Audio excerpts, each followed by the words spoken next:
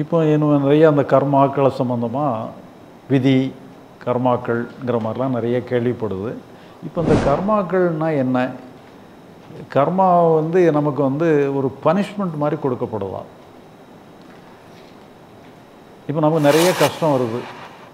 இந்த கஷ்டம் வர்றதுனுடைய நோக்கம் என்ன? இப்போ உதாரணமாக ஒருத்தன் வந்து ஒரு ஒரு திருடன். ஒரு நகையை திருடிடுறான். அவனை பிடிச்சி ஒப்படைச்சிடுறான் அவனை ஜெயிலில் போட்டுடுறான். அப்போ அந்த ஜெயிலில் இருக்கிற திருடன்ட்ட போய் நம்ம பேட்டி காண்றோம்.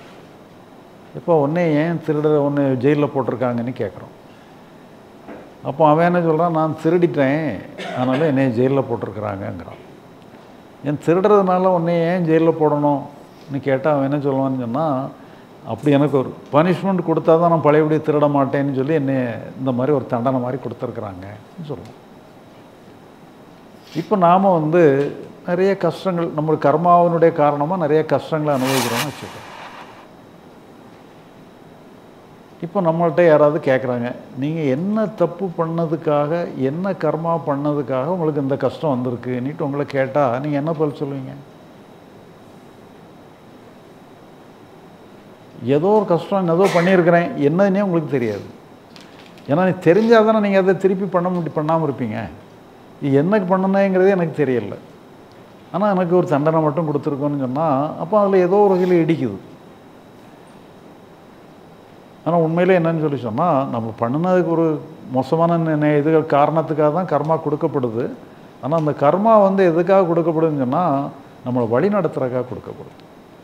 இப்போ நமக்கு முன்னிலே பார்த்தீங்கன்னு சொன்னால் நமக்கு கஷ்டம்தான் வந்து வழி நடத்தும் நம்ம ஒரு மகிழ்ச்சியான சூழ்நிலை நம்ம மறந்துடுவோம். ஒரு நம்ம வந்து ஒரு மோசமான சூழ்நிலையோ கஷ்டம்தான் நம்மளை வந்து வழிநடத்துறதுனால வந்து நமக்கு காரணம் வந்து நமக்கு தெரியணும்னு அவசியம் இல்லை. இப்போ காரணத்தை தெரிஞ்சு நம்ம கர்மா பண்ணணும்னு சொல்லி சொன்னால் அது ஒரு சரியான ஒரு இது இல்லை. நாம் ஏதோ ஒன்று எதிர்பார்ப்பு பண்ண எதிர் எந்த எதிர்பார்ப்பும் இல்லாமல் நல்லது பண்ணணும்னு நினச்சி பண்ணுறது தான் உண்மையான கர்மம் நீங்கள் பய பயந்து பயந்து பண்ணி நீங்கள் ஒன்றும் ஏதோ ஒன்று நம்ம பண்ணணும்னா நமக்கு நல்லது கிடைக்கும்.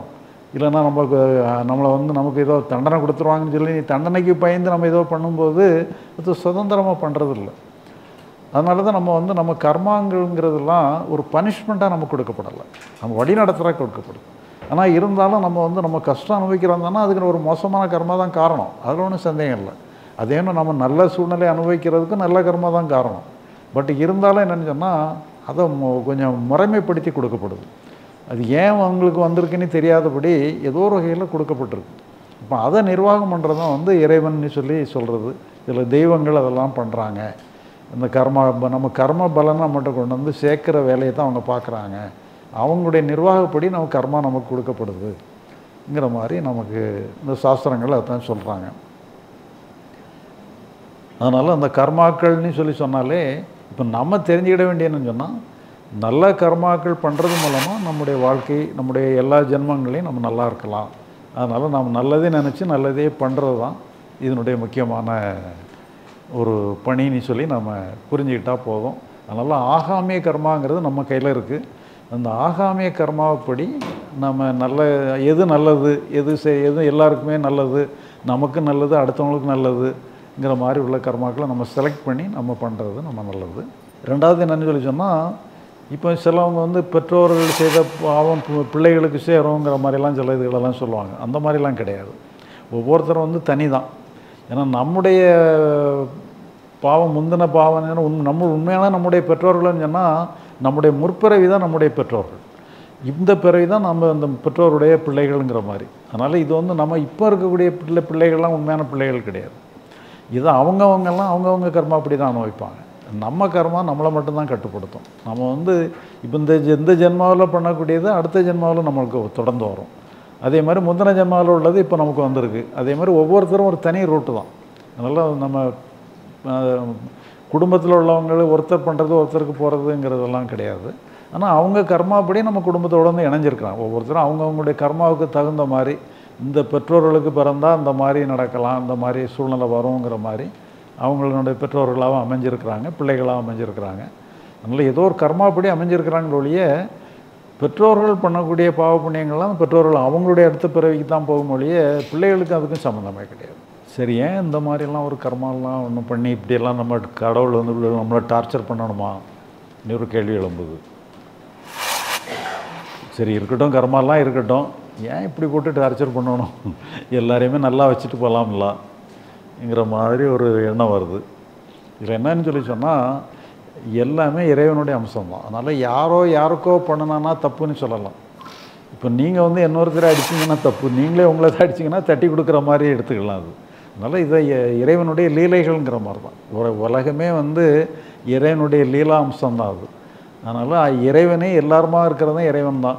அவனே எல்லாருமா இருக்கிறான் அவனே அனுபவிச்சுக்கிட்டு இருக்கான் நல்லதும் செய்கிறான் கெட்டதும் செய்கிறான் அதனால் அதில் வந்து சில ரோல்ஸுங்கிறதெல்லாம் வந்து தேவதா அம்சங்கிறது வேறு இறைவனுங்கிறது வேறு. அப்சல்யூட் காடுங்கிறது பிரம்மங்கிறது தான் அப்சல்யூட் காடுன்னு சொல்கிறது இந்த ஈஸ்வர அம்சங்கிறது லிமிட்டட் காடுங்கிறது. அது வேறு. இப்போ உதாரணமாக பார்த்தீங்கன்னு சொன்னால் இப்போ நாம் எத்தனையோ கோயில்கள் போகிறோம் தெய்வங்களில் பார்க்கணும் நினைவு இது பண்ணி இப்போ தெய்வங்களில் பூஜை பண்ணுறோம் என்னெல்லாமோ பண்ணுறோம் இப்போ நம்முடைய உடல் நம்ம உடலை விட்டு நம்ம போன பிறகு நம்ம சூட்சும சரீரமாக மாறிடுறோம். சூட்சும சரீரமாக மாறினதுக்கு பிறகு இன்னும் நம்ம வணங்கக்கூடிய தெய்வங்கள்லாம் கூட நம்ம கண்ணுக்கு தெரியும். நம்ம எந்தெந்த தெய்வங்கள்லாம் வணங்குறோமோ எல்லாருமே நமக்கு தெரியும். ஆனால் நம்ம யாரையுமே வணங்க போக மாட்டோம். எந்த கோயிலுக்கும் போய் வணங்குறதுக்கு யாரையும் வணங்குறதுக்கு போக மாட்டோம். காரணம் என்னன்னு சொல்லி சொன்னால் அவங்களுக்கு நமக்கு ஒன்றும் பெரிய வித்தியாசமே கிடையாது. இப்போ உதாரணமாக பார்த்தீங்கன்னு சொன்னால் இப்போ நமக்கு வந்து எத்தனையோ அதிகாரிகள் இருக்கிறாங்க. நீதிபதிகள் இருக்கிறாங்க மந்திரிகள் இருக்கிறாங்க. அவங்கெல்லாம் வந்து ஏதோ ஒரு வகையில் நம்மளோட ஸ்டேட்டஸ் கூடினவங்க தான். ஆனால் நம்ம யாரையாவது போய் காலையில் போய் கலெக்டரை வணங்குறதுக்கு போகிறேன் நான் வந்து கவர்னரை வணங்குறதுக்கு போகிறேன்னு சொல்லி நம்ம போய் அவரை பூஜை பண்ணுறதுக்காக போகிறேன்ட்டு யாரும் போகிறதில்ல அவர் அவர் வேலையை பார்க்குறாரு நம்ம நம்ம வேலையை பார்க்குறோன்ட்டு இருப்போம். அதே மாதிரி தான் என்னன்னு சொல்லி சொன்னால் அவங்களும் நம்மளும் ஈக்குவல் கேடர் தான். நம்ம நாம் என்ன சூட்ச்ம சரீரத்தில் இருக்கிறோமோ அதே மாதிரி ஒரு சூட்ச்ம சரீரத்தில் தான் இந்த தேவதா அம்சங்களாக இருக்கக்கூடிய இறைவன்லாம் அப்படி தான் இருக்கிறாங்க. இந்த அப்சல்யூட் காடுங்கிறது பிரம்மம் அது வேறு.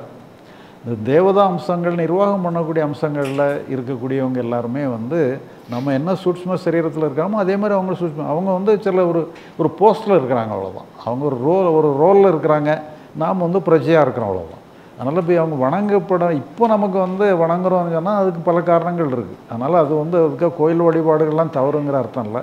அதெல்லாம் தேவை தான் அது ஒரு நல்ல கர்மா தான் அதனால் அந்த செய்ய வேண்டிய பணிகள்லாம் அதுவும் ஒன்று தான் அதனால் யார் யாருக்கெல்லாம் கோயில் வேணும் வழிபாடு தேவையோ அவங்கெல்லாம் வழிபடத்தான் செய்யணும். அதில் ஒன்றும் சந்தேகம் இல்லை. இது நம்ம வெளியே வந்தவர் நம்ம பாடியை விட்டு வெளியே வந்த பிறகு பார்த்தீங்கன்னா எல்லோரும் ஒன்றா தான் தெரியும். வேறு வேறையாக தெரியாது. அதனால் எல்லாருமே வந்து பேசிக்கலாக வந்து அந்த இறை அம்சம் அந்த பரம்பொருளுங்கக்கூடிய அந்த பிரம்மம் தான் வந்து எல்லா உயிர்களாக இருக்கிறதும் அவர் தான் தெய்வங்களாக இருக்கிறதும் அவர் தான் மனிதர்களாக இருக்கிறதும் அவர் தான் விலங்குகளாக இருக்கிறதும் அவர் தான் அதனால் அவரே பல ரூபத்தில் இருந்து பல ரோலில் ப்ளே பண்ணிக்கிட்டு இருக்கிற மாதிரி எடுத்துக்கிடணும். அதனால் இதில் யாரையுமே குற்றம் சாட்ட முடியாது. என் குற்றம் சாட்டுறதுக்கு அந்நியர்னிட்டு ஒருத்தருமே கிடையாது. நீ காரணம் நான் காரணம்னு சொல்ல முடியாது. இப்படி ஒரு நிகழ்வு நடந்துக்கிட்டு இருக்குது இறைவனே எல்லாருமாவாக இருந்து ஒரு லீலையாக புரிஞ்சிக்கிட்டு இருக்கிறாருன்னு மாதிரி எடுத்துக்கிட்டோம்.